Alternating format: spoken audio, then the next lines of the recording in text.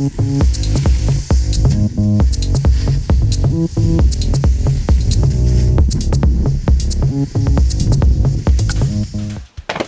んにちは。レイトプロジェクトの滝沢健一です。本日も視聴者の方から素敵な質問をいただいておりますので Q&A コーナー行ってみたいと思います。さあ行ってみましょう。本日質問をいただいたのはハンドルネームアイアイケントさんからの質問となっております。ありがとうございます。シャバ雪で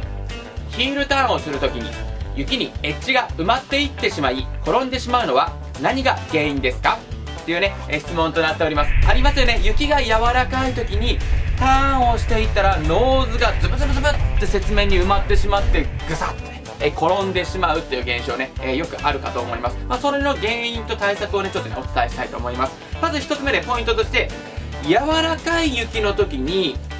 ノーズ板の先端に重心が乗ってしまうとえターンの最中ですね雪がえぐられてしまって板がザザザッとね刺さっていってしまう原因となります。そしてえ2つ目がですねターンをしている時っていうのは自分から前足ノーズ側に重心を移動しなくても実はですね外力がかかっていて外から力がかかっていて慣性という法則が働いて前の方にね体がね投げ出されてしまうんですよね。そうすることによってノーズに荷重がかかってしまって埋まってしまう。え自分がノーズに乗ってないと思っていても実はノーズにね自然と乗ってしまうっていうような現象が起きてしまうので、まあ、ノーズがね埋まってしまうこと原因になってきます。そして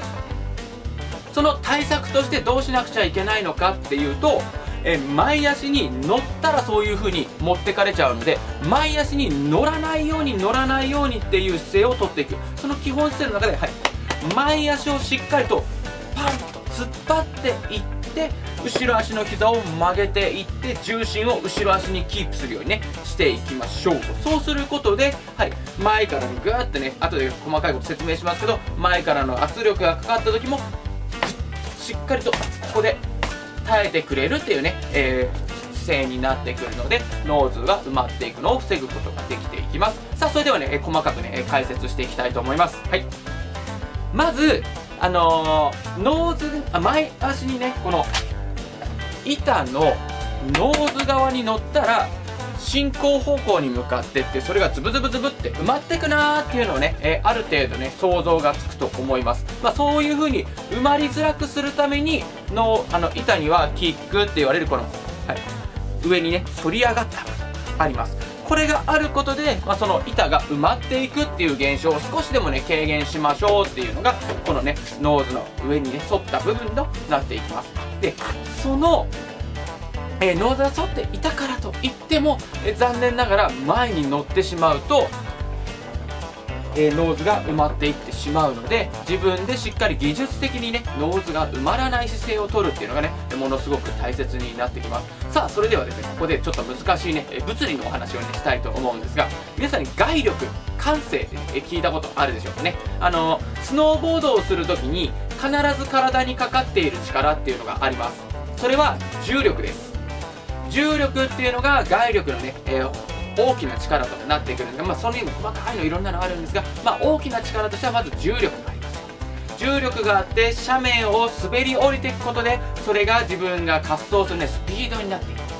さらにそこでターンをしていくと、はい、右に行く左に行くっていうね動作を繰り返していくとその中でねターンをしていきますから遠心力っていうのが生まれますねターンの外側に体が引っ張られる力働いていきます。まあ、そうした上で、まあ、ターンが、ね、終わるとそっちが今度は横に進んでいくのでこんな、ね、推進力っていうのがね生まれてきて、まあ、こんな、もう物理の言葉をねポンポンポンポン並べられてもそんな難しい言葉はどうでもいいよって話なんですが、はい、一番大切なのはそういった外力をコントロールしてスノーボードをしているっていうことをね理解してあげてください。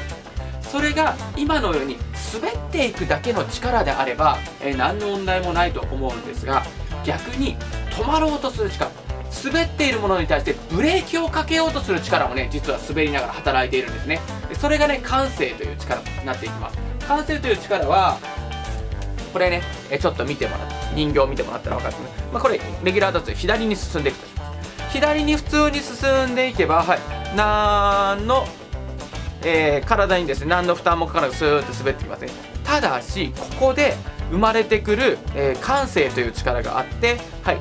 雪面に対してブレーキが常にかかってる状態、はい、そうすると見てください。ね進行方向に対してギュッ、はい、ブレーキがかかると自然と人間って、はい、体が前に持っていかれます。持っていかれながら滑ってってることに実は常になっているんですよね。まあ板は滑走面が滑りますのでそんなにそんなにこんな姿勢になることってないじゃんって思いますよね。しかしながら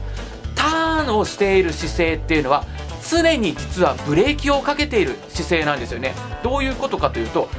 谷側に対してエッジをこういう風にかけて滑っていくとはいブレーキですよね。これってブレーキがかかってる状態。サイドスリップという状態になります。この状態って実ははい雪面に対して板が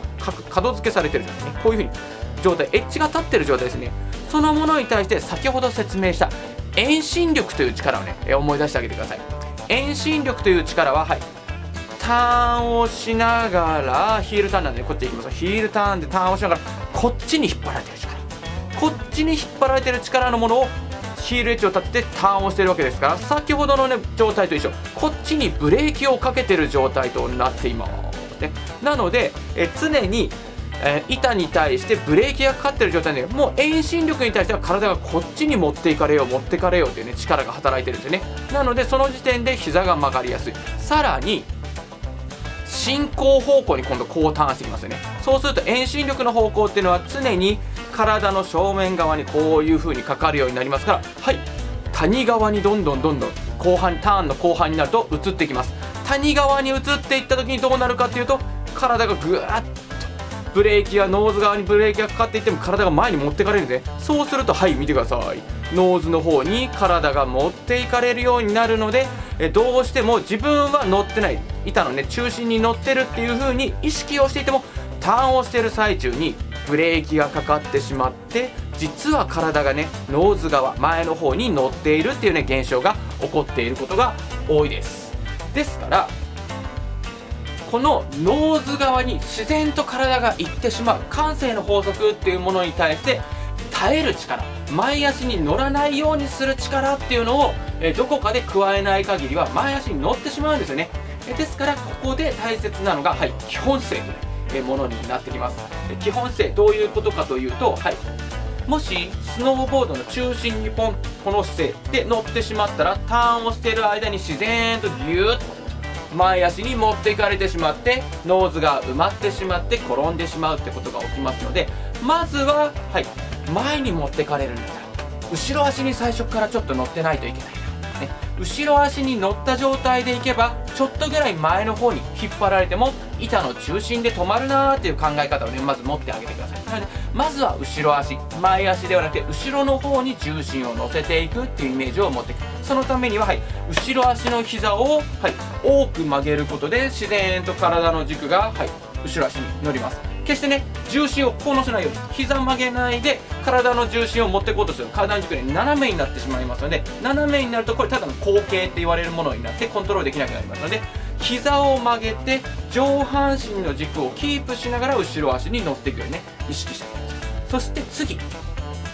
この前足の膝が重要になってきます、ね、え前足の膝をねなるべく頑張って伸ばすイメージを持ってあげてください。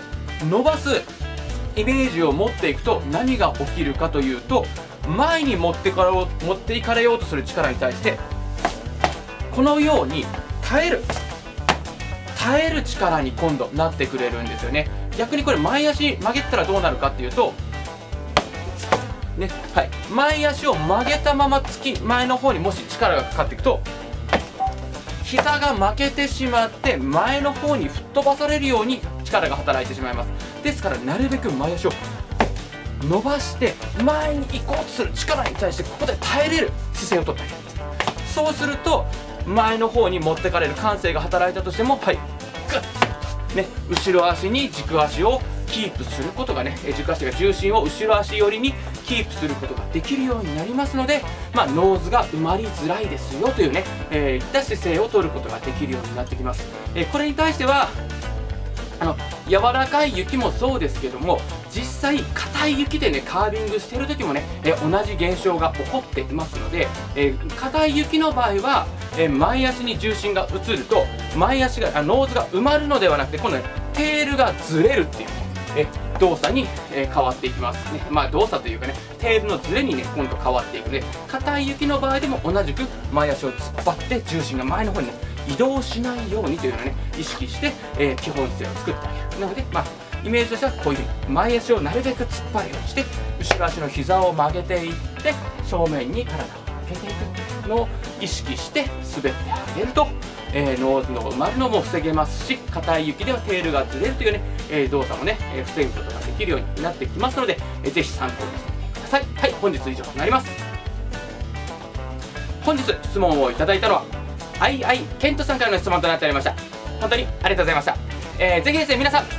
チャンネル登録よろしくお願いいたします。今シーズンですね、えー、10万人を目指して頑張っております、え、まだまだですね、え弱小 YouTuber なんですが、えこれから頑張ってねちょっとね今シーズン中にねなんとか10万人まで今の倍以上のね数にね増やしたいなと思って、え僕が実際レッスンで教えてる内容そのままね YouTube でねこうやって公開しちゃってますので、えー、ぜひ参考になると思います、え今シーズンね上手くなるため、えスノーボードをねより楽しむためのね参考にしていただければいいなと思いますのでぜひスノーボードをやっているお友達にもね紹介してもらえたら嬉しいと思います。応援よろしくお願いいたします。え、今回の動画ですね、ためになったなと思う方はぜひいいね、高評価よろしくお願いいたします。え、そしてですね、えー、ぜひ質問のある方は、えコメント欄の方にご記入お願いいたします。え今回のようにですね、えみんなにね、シェアしたら面白いなっていうね、え質問に関してはですね、え動画にして詳しく解説したいと思います。まあ、しかしながらですね、ちょっとシーズン入りまして、忙しい時期に入ってしまいましたので、え少しね、えコメントの返信の方がね、間に合っていない状況が続いておりますので、ちょっと気長に待っていただけたらと思います。よろしくお願いいたします。